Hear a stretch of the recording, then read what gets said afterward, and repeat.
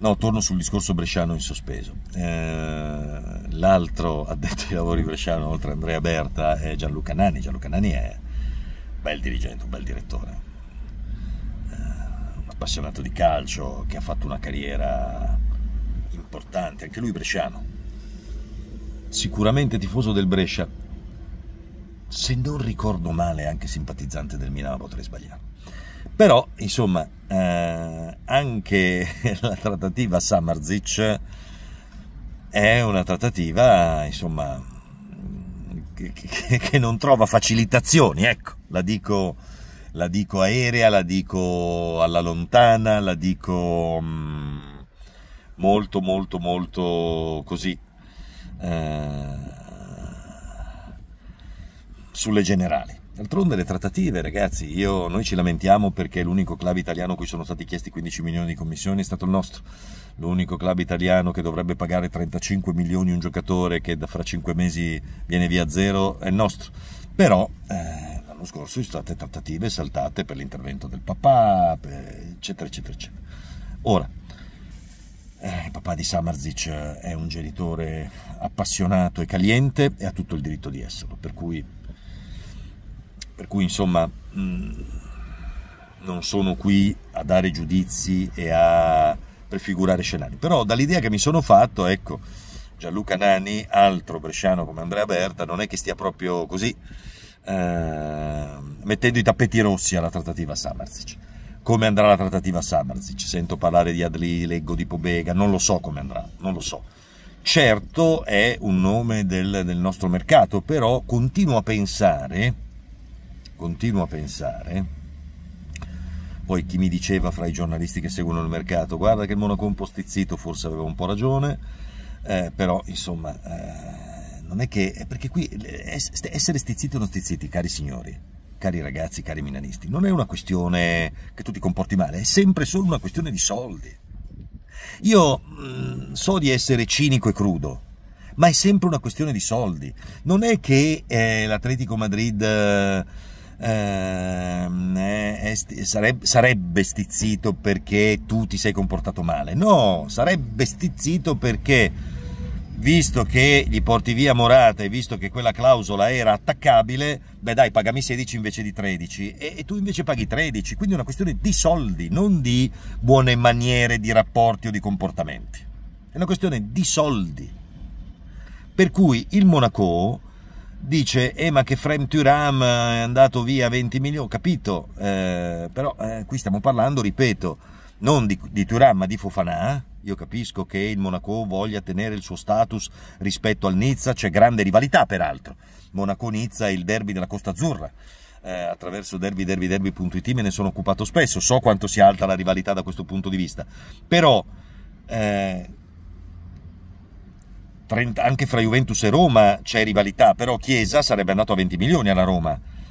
Chiesa è più forte di Fofana, Fofana è più forte di Chiesa, non lo so, ruoli diversi, situazioni diverse, non si fanno paragoni, però 35 milioni mi sa tanto di eh, un, uh, un, gioco delle parti, di un voler dare le carte il Monaco dal punto di vista economico e non lasciare che la scadenza eh, fra un anno del contratto di Fofana prenda troppo campo eh, rispetto al, al, al, ai desiderata del Monaco. Quindi soldi e giochi delle parti. Vedremo nel prossimo weekend se i soldi e i giochi delle parti saranno più forti rispetto magari così a, a una volontà del giocatore o una fluidità delle cose. Lo vedremo anche su Samarzic, non è che Gianluca Nani mette i bastoni fra le ruote, mancherebbe altro. Cari saluti a Gianluca Nani, massimo rispetto, massimo, massimo affetto, eh, e lui lo sa.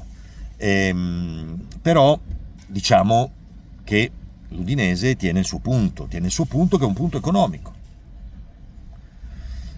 Perché tu, se punti a fare Samarzic dopo aver fatto una cessione, allora puoi avere qualche margine in più, ma senza fare cessioni come in questo momento è, perché in questo momento offerte e trattative per i giocatori del Milan in uscita non ce ne sono.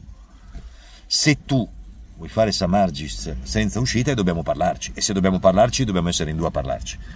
E quindi, e quindi vedremo, vedremo come andrà a finire. Milan che va alla tournée americana, uh, le partite sono toste, le partite sono importanti, Real Madrid, Manchester City, Barcellona, l'anno scorso avevamo avuto Real Madrid, Juventus, Barcellona, quest'anno Real Madrid, Manchester City, Barcellona, insomma sempre tre grandissime squadre, l'anno scorso tre grandissime squadre quest'anno.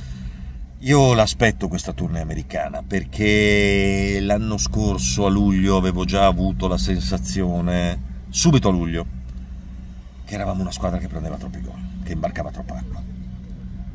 Poi quelli siamo rimasti, Stefano Pioli ha lavorato sulle migliori caratteristiche della squadra, quelle offensive infatti abbiamo fatto 99 gol, sul, sui meccanismi difensivi un po' per caratteristiche, un po' in generale abbiamo fatto più fatica a lavorare. Quest'anno, quest'anno eh, speriamo che le indicazioni siano diverse perché al di là del mercato, al di là delle trattative Pavlovic, al di là delle trattative Emerson Royal, al di là delle trattative Fofana, eh, la sensazione che mi è rimasta a Vienna è che qualche errore di distrazione dei singoli sia rimasta. E quindi ragazzi dobbiamo metterci in testa che non è che dietro, vabbè, tanto, poi davanti fanno gol. No, dobbiamo mettere dei picchetti dietro. È perché dietro, quando ci attaccano gli altri in velocità, eh, dobbiamo essere più reattivi, dobbiamo essere più bravi. E quindi mm, l'anno scorso credo che nelle tre partite americane abbiamo preso 6 gol, meglio di due gol a partita. Gli avversari sono tremebondi, sono di quelli che ti fanno tremare le vene ai polsi, Real, Manchester City e Barcellona, però se si riuscisse a prendere qualche gol in meno, poi spero che, spero che le ventate delle partite e le raffiche delle partite non mi smentiscano, però ecco, vediamo, vediamo, quello, che, vediamo quello che succede, perché l'anno scorso poi dopo la tournée americana abbiamo messo nel motore Okafor e Ciuqueze, mentre Reinders, Pulisic e Loftus erano già in tournée, quest'anno diciamo di nuovo in tournée non ne abbiamo, quindi anche se dovessimo prendere gli stessi gol o qualche gol in più, poi eh, i nuovi arrivano dopo, quindi l'identità vera te la costruisci e te la fai dopo. Vedremo, vedremo quello che accadrà, ha parlato Gerry Cardinale, ha parlato di visione e di strategia, ma il proprietario parla di visione e strategia. Io sono convinto che anche il nostro proprietario eh, voglia vedere eh, i migliori frutti possibili dal nostro mercato, solo che il mercato è delegato a Zlatan Ibrahimovic, a Giorgio Furlani, a Geoffrey Moncada, eh, sono loro i nostri uomini di mercato. Proprietario è costantemente aggiornato quotidianamente sul nostro mercato, però poi la responsabilità di far quadrare i conti economici e i conti tecnici è delegata al team di qui sopra, quindi anche il proprietario è in attesa, rispettoso delle deleghe che ha dato, parla di visioni e strategie, che sono quelle che gli competono.